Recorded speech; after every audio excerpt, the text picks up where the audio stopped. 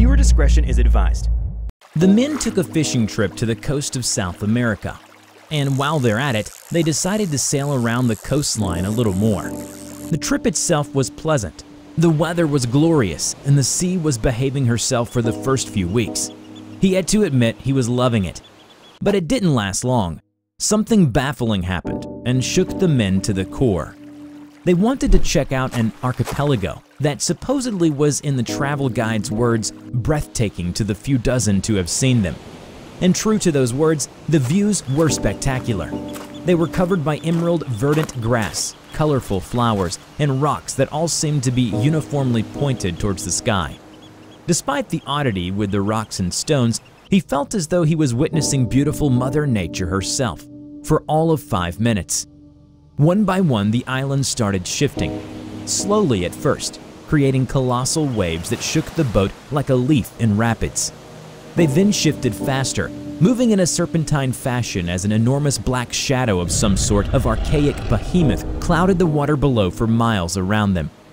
It continued for some odd minutes, as the water soon became like miniature tidal waves that they barely made it over somehow until all movement suddenly ceased, and the shadow faded into the depths. The men looked at each other, soaked by the salty waters, and quickly made preparations to head to the mainland. Over there, look! A giant wave rose and was about to collapse on them. Brace yourselves! The wave crashed upon the ship, breaking it in half. As the men were tossed about in the water like a rag doll, they caught a glimpse of the creature, a behemoth that seemed to be the ocean itself. The men were but tiny specks of ants floating in the dark abyss. So this thing is responsible for their predicament, he thought. No, it was not responsible for anything that was happening. The Leviathan was merely existing, indifferent to the tidal waves on the surface, the sunken ship, or the drowning men. The survivors never spoke of what happened that day, the very thought of something that large prowling around the globe beneath the waves made the men question their own existence. So they decided to settle on ignorance. And ignorance is bliss. Hello everybody, I'm the Rubber. Today, we bring you a SCP Foundation Keter class object, SCP-169. SCP-169, also known as the Leviathan, is believed to be an arthropod of gigantic proportions and the true beast behind the myth of the Leviathan. Much like many SCPs the Foundation has come across since its inception, the origins and true nature of such entities and objects are only theorized. 169 is no different. 169 was discovered by MTF Gamma-6 as the Foundation suspected anomalous activity stemming from the southern tip of South America and an archipelago. What aroused curiosity in Dr. Shirazawa and the Foundation itself was that the archipelago in question drifted several miles from their original locations in a rather serpentine fashion. After Gamma 6 was sent to investigate the islands, they were tasked with collecting soil samples, rock samples, vegetation, and any entities that they came across. If said entities were hostile, lethal force was authorized. A terrifying realization dawned on Gamma 6 as soon as they dug their shovels into the soil, and it promptly began to bleed much like the growths they took off of their rock-like plates that were scattered across the island. Feeling that further exploration was unnecessary, Dr. Shirazawa ordered Gamma-6 to return to a site near the coast of Brazil. The soil samples and growths found on the rocks were determined to be organic material and flesh, leading the doctor to understand that the archipelago was actually the spine of some gargantuan arthropod, hence why Leviathan is quite the appropriate moniker for it. According to Dr. Shirazawa and his researchers, 169 is estimated to be between 2,000 and 8,000 kilometers in length and millions of years old. Seeing that such other anomalies of a similar nature were not found on the planet, it was then decided that 169 was possibly the last of its kind. Therefore, almost nothing is known about the creature other than it is possibly dormant. This is believed to be the cause because it only sways or moves a little less than a mile every week and breathes periodically every few months. The ramifications of 169 being active would certainly be seismic tremors and tidal waves, so monitoring of 169 is to happen 24-7 in case of any changes in activity. By direct order of the O5 Council, all ships that come into contact with or near 169 are to be scrapped and erased from all records, public and private.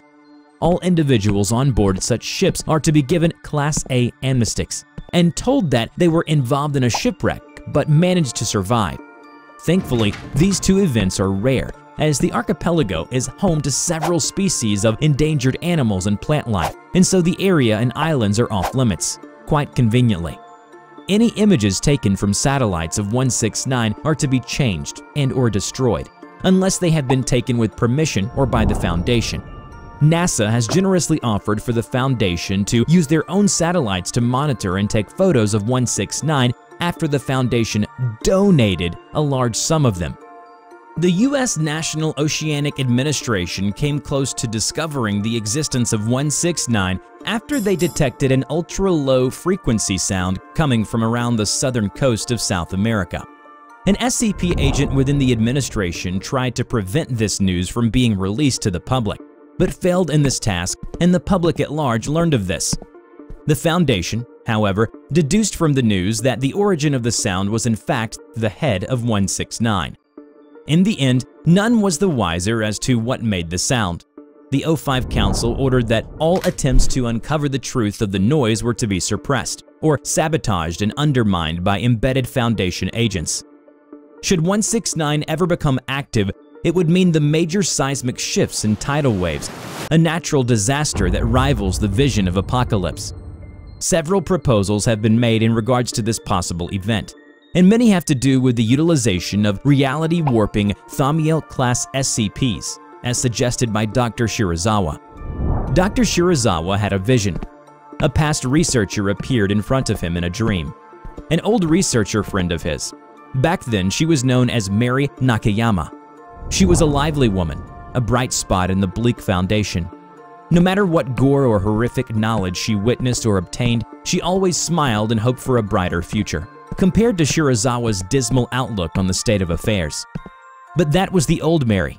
Now she was known by her designation, SCP-001, the Godhead Eternal.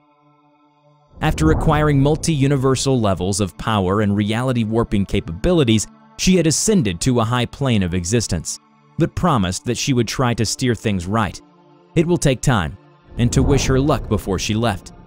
He believed that she had returned to them through that dream of his, which of course brought terrible possible consequences as well. For why else would an omnipotent being such as herself make her presence known again in this world? That, and she said so herself. Shirazawa, my friend, she said, I have observed the world and the unfathomable universe that encapsulates our own and even the ones around that and has determined that the Leviathan's stirring is simply the beginning of apocalyptic events set to come upon them soon. Visions flashed in Shirazawa's eyes. He was frightened by the hellscapes. If the Leviathan awakens fully, it will mark the beginning of a K-class extinction event. And should that happen, summon me, she said. She warned that she could only be summoned once and once only. Therefore, they must be extremely vigilant in preventing all disaster scenarios before they even think to have her aid. A Hail Mary, if they will. The O5 scoffed at him after hearing it. Do you have proof that she will indeed protect humanity and this planet from destruction? Surely you don't expect us to take a man's dream as fact, yes? Finally, it's about time a Thaumiel class decides to help us out of its own free will. If she can prevent any K-class extinction event, then perhaps we should think about becoming more proactive with a few of our pressing problems facing the Foundation, he said sarcastically. But deep down, they all knew there was merit in Dr. Shirazawa's words. They have no such luxury. The doctor pulled out a small gray metal box with a small concave circle on the top of it that has a small hole in the center. She instructed any O5 council member to trickle their blood into this until the box is full. Only then will she be called here to protect us. I now give this to you. The doctor hands it over to the council and left the room. The council stared at the box, not sure what to make of it.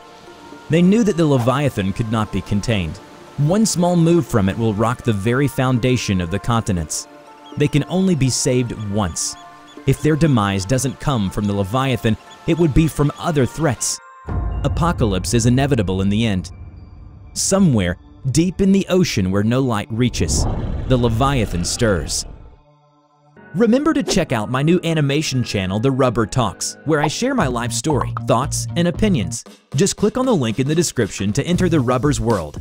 I hope you enjoyed today's video. Which SCP do you want to see in the next video and why it is interesting? Let us know in the comment below. We will draw your story and share it with the world.